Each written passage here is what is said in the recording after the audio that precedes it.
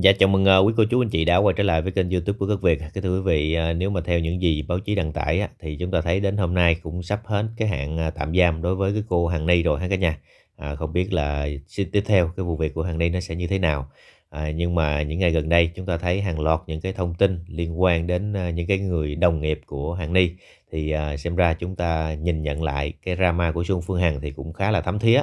bởi vì à, khi mà còn livestream đó thì sư Phương Hằng cũng thường xuyên nhắc đến cái vấn đề này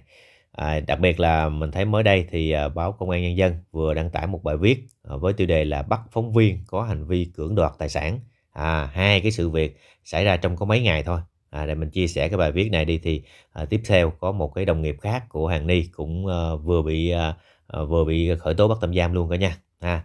rồi theo đó thì à, báo Công an Nhân dân cho biết là cơ quan cảnh sát điều tra Công an thành phố Đồng Hới, tỉnh Quảng Bình đã ra quyết định khởi tố vụ án hình sự, khởi tố bị can và ra lệnh bắt tạm giam 3 tháng đối với Lê Toàn, sinh năm 1996, là phóng viên của một tạp chí đã được cấp thẻ nhà báo. À, đây là cấp thẻ nhà báo rồi nha, chứ không phải là cộng tác viên nữa đó. À, và Trần Thị Nhung sinh năm 1988 về tội uh, cưỡng đoạt tài sản quy định tại khoản 1 điều 170 Bộ luật hình sự. Trần Thị Nhung này thì à, à, không biết là có phải phóng viên công tác viên gì hay không mà người ta chỉ nói Lê Toàn thôi.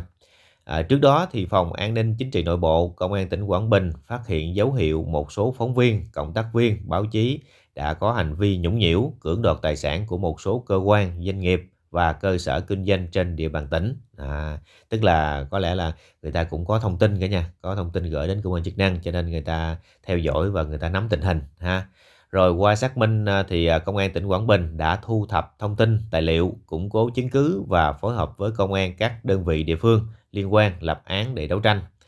À, và theo tài liệu điều tra ban đầu đã xác định sau khi phát hiện một số cơ sở hoạt động kinh doanh à, dịch vụ du lịch trên địa bàn tỉnh có dấu hiệu sai phạm, Lê Toàn cùng à, Trần Thị Nhung tìm gặp các chủ cơ sở này à, xuất trình thẻ nhà báo, khoe là có nhiều mối quan hệ à, cung cấp một số thông tin mang tính đe dọa, uy hiếp và yêu cầu bên phía Toàn à, phải mang à, phải chuyển cho ta số tiền là khoảng 40 đến 50 triệu đồng để Toàn bỏ qua mọi chuyện. Nếu không à, chịu chưa tiền á thì Toàn sẽ viết bài, đăng bài phản ánh sai phạm khiến cho cơ sở này buộc phải đóng cửa, dừng hoạt động. À, tức là hù luôn á, hù là tôi có thể nhà báo nè, bây giờ anh đưa tiền cho tôi không? Ông đưa là tôi viết bài là sau này cơ sở của anh sẽ bị đóng cửa, bị đình chỉ luôn. À, cái này là mới có hù thôi chưa viết bài. Còn hôm trước thì à, bên à, tạp chí sức khỏe việt đó là đã viết bài hẳn luôn viết bài hẳn xong mới đội tiền đội tiền để gỡ bài. À, thì nó cũng mang cái tính chất là tự tự với nhau thôi cả nhà.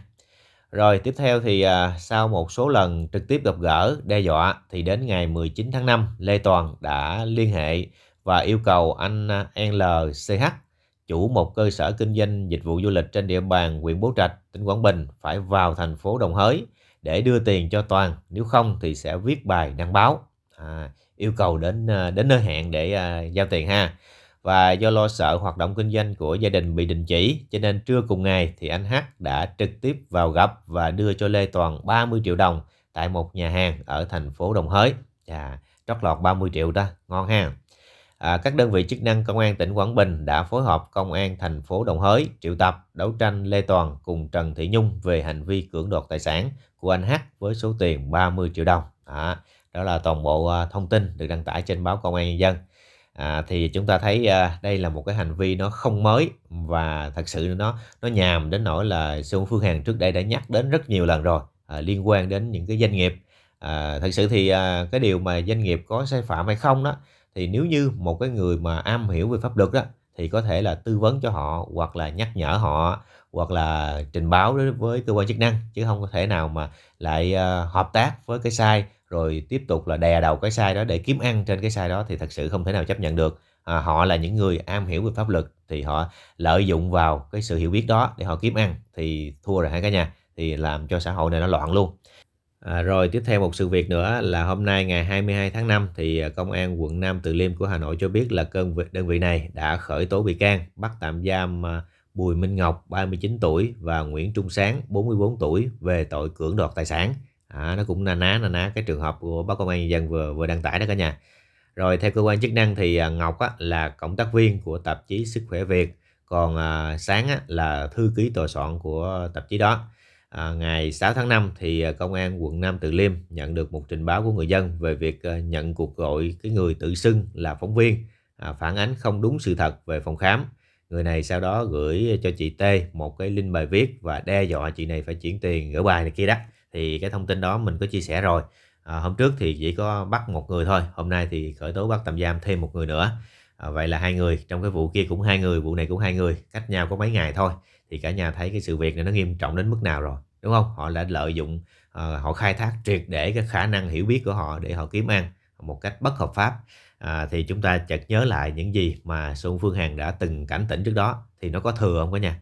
Đúng không? Đến thời điểm này rõ ràng chúng ta thấy đâu có thấy nó có thừa đâu. À, một số cái ờ, đối tượng đó à, không biết là họ bên vực à, cái nhóm người nào mà họ vẫn à, sĩ vả chửi bới Xuân Phương Hằng đến thời điểm này. Mặc dù đó là chúng ta thấy trong mỗi cái trường hợp à, những cái trường hợp về phía nghệ sĩ về phía thần y về phía báo chí hay là bên phía thầy ông nội đi chăng nữa đó thì những cái vấn đề mà Xuân Phương Hằng đưa ra là đến thời điểm này nó hình như nó đã hiện hiện hết rồi. À, còn gì để chối cãi nữa đúng không cả nhà? À, nhưng mà một phần nào đó họ vẫn dựa vào cái à, kêu bằng cái tiểu sử hay là những cái uh, lần, lần phát ngôn của Xuân Phương Hằng dành cho những cái người tấn công. Đó, rồi họ dựa vào cái cớ đó và bắt đầu họ kiếm chuyện họ chửi bới thôi. Chứ những cái chuyện mà Xuân Phương Hằng đã đưa ra mà nó thành sự thật đó thì dường như họ không thấy họ không nghe đúng không? Họ họ không quan tâm chuyện đó. Cái gì mà họ thấy Xuân Phương Hằng xấu xa nhất hay là à, không có cái gì đẹp đẽ thì họ cứ đưa lên và họ bàn tán. Còn những cái gì mà Xuân Phương Hằng làm cho đời à, giúp ích được rất là nhiều người thay đổi nhận thức một bộ phận người dân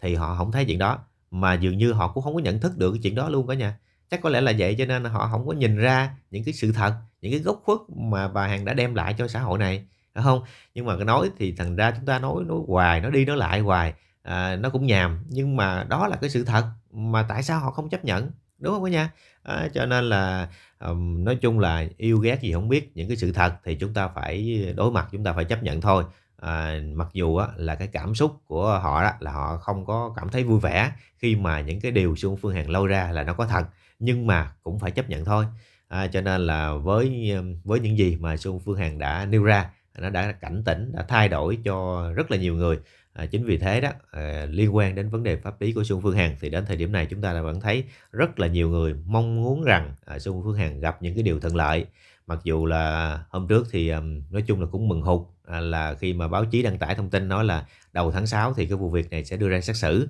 À, đến thời điểm này thì à, người ta rút lại cái lời nói đó à, không biết là chừng nào sẽ đưa ra xét xử. À, chủ yếu là mọi người chỉ à, trông ngóng làm sao cho cái vụ việc này nó sớm kết thúc để à, mọi chuyện trắng đen sẽ rõ và những cáo buộc khác của mọi người của những cái người mà không thích đó nào là về đất đai nào là liên quan đến người này liên quan đến người kia gì đó à, nó không có thật thì à, mọi chuyện nó mới kết thúc hết cả nhà. À, chứ à, rõ ràng với cái à, kết luận điều tra rồi cáo trạng bây giờ đó, người ta chỉ có điều tra và đưa ra xét xử riêng cái vấn đề 331 thôi. Còn những cái vấn đề cáo buộc khác của của những người đó đó là hoàn toàn không có căn cứ nhưng mà họ vẫn dựa vào cái thế họ nói là Xuân Phương Hằng vẫn còn tạm giam là vẫn còn vi phạm pháp luật cho nên cái khả năng nào cũng có thể xảy ra. À, thêm tội này thêm tội kia lâm la đó. À, cho nên là ai mà quý mến Xuân Phương Hằng đều mong muốn cái vụ việc này nó kết thúc để những cái luận điệu đó đó à, nó bị dập tắt từ chính cái kết luận của tòa án. À, như vậy thì họ mới gọi là tâm phục khẩu phục đó cả nhà. Chứ còn à, không thôi là cứ để đây